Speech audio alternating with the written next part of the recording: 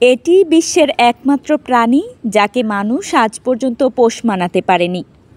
পৃথিবীতে এমন কোনো প্রাণী নেই যার গায়ে মানুষ বেল্ট পরাতে পারেনি। এমনকি বনের বাঘ, সিংহ ও চিতাবাঘও গৃহপালিত হলেও আজ পর্যন্ত বনের এক প্রাণী মানুষের দাসত্ব মেনে নেয়নি। অনেক চেষ্টা করেও তাকে নিয়ন্ত্রণ করা যায়নি। তাদের নিয়েই এই প্রতিবেদনটি। এমনকি সেই প্রাণীটিকে মানুষ অনেক চেষ্টা করেও নিয়ন্ত্রণ করতে পারেনি। এরা দলবদ্ধভাবে বসবাস করে। হলিউড ও বলিউডের অনেক ছবিতেও তাদের দেখানো হয়েছে। কখনো ভ্যাম্পায়ার হিসেবে, আবার কখনো নরখাদক হিসেবে। আপনি কি সেই প্রাণীর নাম জানেন? অনেক মুভিতে এই প্রাণীটিকে দেখানো হয়েছে। কখনো ভ্যাম্পায়ার হিসেবে, আবার কখনো নরখাদক হিসেবে। ইতালীয় দ্য সিটি অফ গড এর লেখক এই প্রাণীটিকে ডাইনির সাথে তুলনা করেছেন। হ্যাঁ এই ভীতিকর প্রাণীটি হল নেকড়ে। এক বন্যপ্রাণী বিশেষজ্ঞ গত ২২ বছর ধরে ভারতের বনে বন্যপ্রাণীদের নিয়ে কাজ করছেন। তাকে বহুবার বিপজ্জনক প্রাণীর মুখোমুখি হতে হয়েছে, কিন্তু প্রতিবারই কোনো না কোনোভাবে প্রাণ রক্ষা পেয়েছে। প্রাণীদের যে দলটিকে সবচেয়ে বিপজ্জনক বলে মনে করেন তা হলো নেকড়ে। নেকড়ে এমন একটি প্রাণী যা মানুষ লাখ লাখ চেষ্টা করেও নিয়ন্ত্রণ করতে পারেনি। তারা দলবদ্ধ থাকে, পরিবারের যত্ন নেয়, প্রবীণরা তাদের দলে অত্যন্ত সম্মানিত, ঠিক মানুষের মতো। একটি প্রাপ্তবয়স্ক নেকড়ের বিয়াল্লিশটি দাঁত থাকে, যা এতটাই শক্তিশালী যে তারা সহজেই বড় হাড় চিবিয়ে খেতে পারে।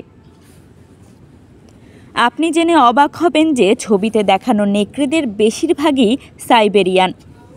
এদের আকার কুকুরের, এদের আকার কুকুরের চেয়ে অনেক বড়। সারা শরীর ঘন লোমে ভরা। কিন্তু ভারতে দেখা নেকড়েগুলো হুবাহু কুকুরের মতো। বিহারের পশ্চিম চম্পারণ জেলার টাইগার রিজার্ভ ফরেস্টেও অনেক নেকড়ে পাওয়া যায়। কিন্তু বর্তমানে তারা বিলুপ্তির পথে। নেকড়েদের যোগাযোগ দক্ষতা অসম্ভব ভালো। তাদের বেঁচে থাকার জন্য এই যোগাযোগ দক্ষতা খুবই গুরুত্বপূর্ণ। নেকড়েরা চিৎকার করে যোগাযোগ করে। এছাড়া যোগাযোগের জন্য নিজেদের শরীরে উৎপাদিত ঘ্রাণ ব্যবহার করে। একটি নেকড়ের ঘ্রাণ শক্তি মানুষের চেয়ে একশো গুণ বেশি শক্তিশালী। তাদের ঘ্রাণের অন্যতম উৎস হল প্রস্রাব। প্রস্রাবের গন্ধের মাধ্যমে তারা নিজেদের অঞ্চল চিহ্নিত করে। এমনকি অন্য নেকড়েকে নিজেদের দলে ফেরত আনতে এটাকে কৌশল হিসেবে ব্যবহার করে।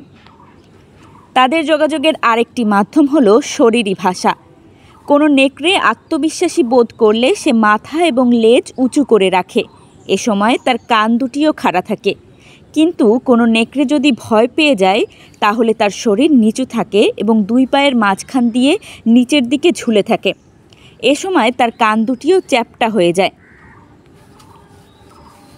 নেকড়েদের একটি দল যখন চিৎকার করে, তখন দশ মাইল দূর থেকে শোনা যায়। তাদের চিৎকারের মানে হলো অন্য দলকে ডাকা বা বিপদ নিয়ে সতর্কতা। প্রতিটি দলের নিজস্ব ডাক আছে। যখন কোনো নেকড়ে খেলতে চায়, তখন তার শরীরটি ধনুকের মতো করে ফেলে। এভাবে সে তার আনন্দ প্রকাশ করে। কিন্তু যখন সে রাগান্বিত হয়, তখন কপাল চাপড়ায় বা গর্জন করে। একটি নেকড়ের শরীরী ভাষা অনেকটা কুকুরের মতো। অবশ্য নেকড়ে এবং কুকুর ঘনিষ্ঠভাবে সম্পর্কিত এবং তাদের যোগাযোগের প্রক্রিয়া প্রায় একই রকম। বাচ্চা নেকড়েরা কমপক্ষে দুই বছর ধরে তাদের বাবা মায়ের সঙ্গে প্যাকে থাকে। এরপর কেউ কেউ অন্য দলে যোগ দেয়, কেউ বা নিজেদের দলেই থেকে যায়। অন্য দলে যোগ দেওয়ার ফলে তারা মা বাবার কাছ থেকে দূরে সরে যায়। বাচ্চা নেকড়েরা খেলতে খেলতে বড় হয়, যেমন তারা লাফালাফি করে, এখানে ওখানে ঝাঁপ দেয়, একে অন্যকে তাড়া করে এবং কুস্তি খেলে। এমনি তারা লুকোচুরিও খেলে। নেকড়েদের জীবনযাপন কিছু ক্ষেত্রে মানুষের মতো। যেমন আমাদের বড় ভাই বা বোন, ছোটো ভাই বোনদের দেখাশোনা করে, তেমনি বড় নেকড়ে তাদের ছোট ভাই বোনদের জন্য খাবার জোগাড় করে। তাদের যত্ন নেয়। নেকড়ে ছয় থেকে আট বছর বাঁচে।